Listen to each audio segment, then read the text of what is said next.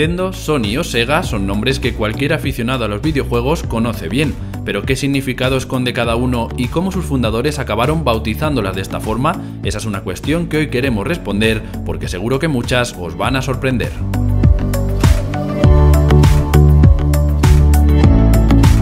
Vamos a empezar por una de las más sencillas, Sega, un nombre que viene directamente de la anterior denominación de la compañía, Service Games. Como curiosidad, antes de llamarse así, su primer nombre fue Standard Games y se fundó en 1940 en Hawái antes de trasladarse a Japón en 1952, momento en el que se produjo el cambio al actual nombre.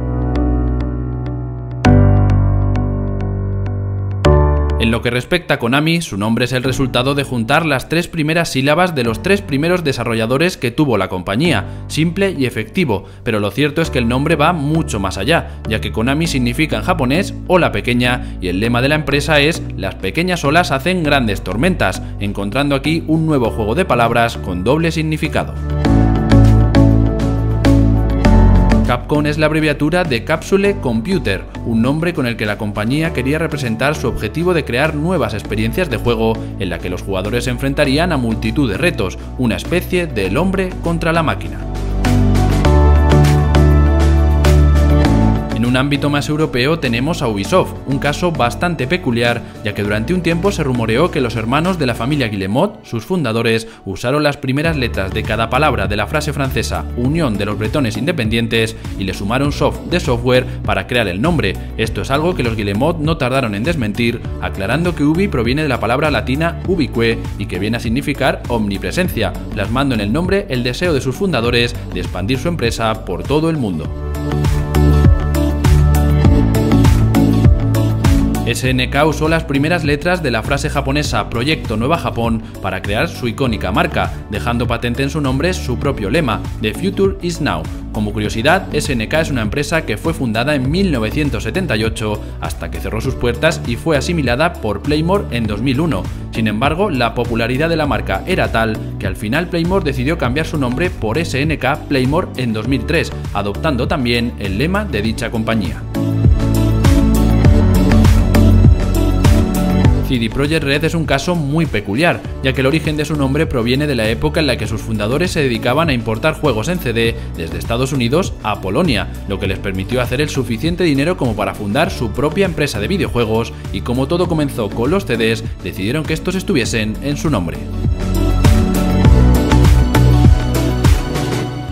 Square Enix es el nombre resultante de la fusión de Squaresoft y Enix. Por la parte de Square, la compañía fue fundada originalmente en la isla japonesa de Shikoku, un nombre que suena muy similar a la palabra japonesa Shikaku, o lo que es lo mismo, Square en inglés. En cambio, el nombre de Enix fue el producto de un juego de palabras entre el ave fénix y el primer ordenador del mundo, ENIAC, por lo que hace referencia a ambas cosas.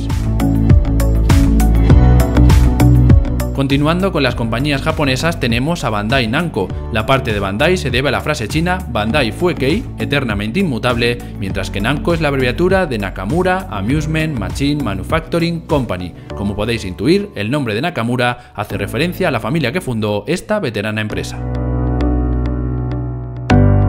La historia de cómo Blizzard obtuvo su nombre tampoco tiene desperdicio, ya que la empresa fue fundada originalmente en 1991 como Silicon and Synapse, pero resultó que esta denominación se confundía habitualmente con la silicona de los implantes de pecho. De este modo, en 1993 cambiaron su nombre a Chaos Studios, aunque nunca llegaron a lanzar ningún juego bajo dicha marca, ya que estaba registrada. Esto los llevó a pensar que Ogre Studios funcionaría mejor, pero no gustó a los propietarios. Finalmente, Allen Adam buscó palabras que sonasen bien en el diccionario hasta dar con Blizzard. Este nombre sí que gustó y el resto es historia.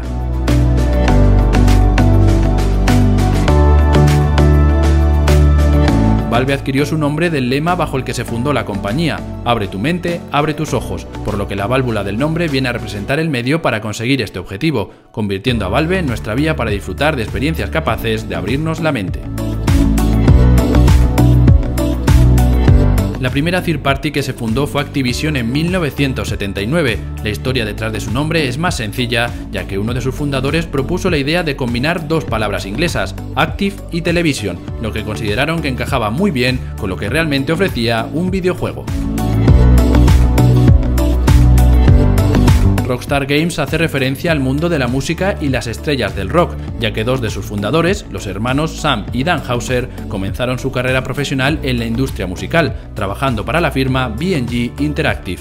Posteriormente, esta empresa creó una división centrada en el ocio electrónico, lo que permitió a ambos sumergirse de pleno en el desarrollo de videojuegos, hasta que finalmente acabaron fundando su propio estudio en 1998 bajo esta denominación. THQ Nordic proviene de la compra de los derechos de la desaparecida THQ por parte de Nordic Games en el año 2012. El nombre de THQ provenía de Toy Headquarters, ya que cuando fue fundada en 1989 se dedicaba a la juguetería. No tardaron mucho en desarrollar videojuegos, abandonando la fabricación de juguetes en 1994. Nombre de Microsoft es muy sencillo, ya que fue bautizada al combinar las primeras letras de las palabras inglesas microprocesor y software, que fueron los productos que sus dos fundadores, Paul Allen y Bill Gates, comenzaron desarrollando. En lo referente a Sony, inicialmente su nombre fue Tokyo Tsusin Kogyo, una denominación que trajo muchos problemas ya que el público occidental era incapaz de pronunciarlo y recordarlo. En este sentido, tampoco le servía el acrónimo TTK, ya que era el nombre de una compañía telefónica japonesa. Así pues, se decidieron por coger la palabra latina sonus, sonido, y mezclarla con la palabra inglesa Sony, traducida como chaval, para darle un toque más juvenil y atractivo, lo que acabó derivando en Sony.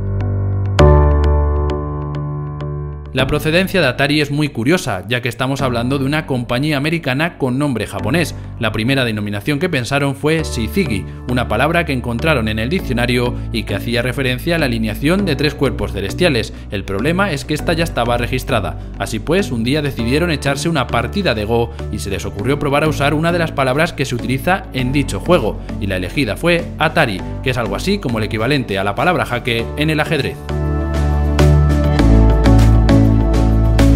Naughty Dog, traducido como perro travieso, es un nombre muy peculiar. Inicialmente en 1989 fundaron Jam Software, aunque este nombre estaba registrado. Entonces los fundadores se acordaron de unos dibujos que uno de ellos solía hacer en los que aparecía un perro con gafas de sol, e inmediatamente pasó a formar parte del logo de la empresa. Esta idea no gustó a sus inversores, pero se mantuvo, ya que para ellos y para todo el estudio simbolizaba su libertad e independencia creativa.